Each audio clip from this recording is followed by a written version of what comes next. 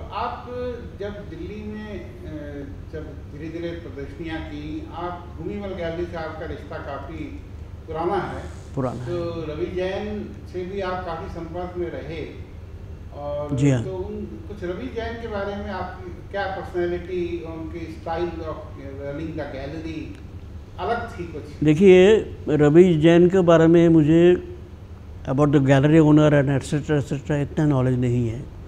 रवि जैन के बारे में मुझे इतना ही पता था because that time we are very young Ravi Jain मेरे से बहुत बड़ा नहीं था उम्र में, मगर उस टाइम पे स्वामी और बाकी लोग बहुत लोग थे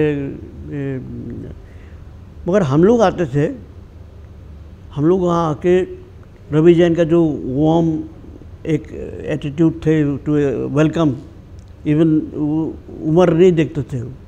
हम लोग बुलाते थे, खाना खिलाते थे और ये सब बातें जो हम लोग ज़्यादा अट्रैक्ट करता था।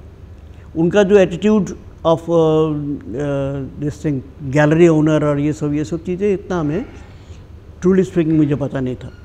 जब पता लगा तो it was too late though before he dies he gave me a chance to have a show in his gallery in 90, 92 में।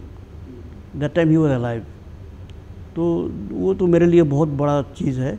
Otherwise Ravi was an excellent person Ravi ji के बारे में इतनी हम कह सकते हैं, ज़्यादा मैं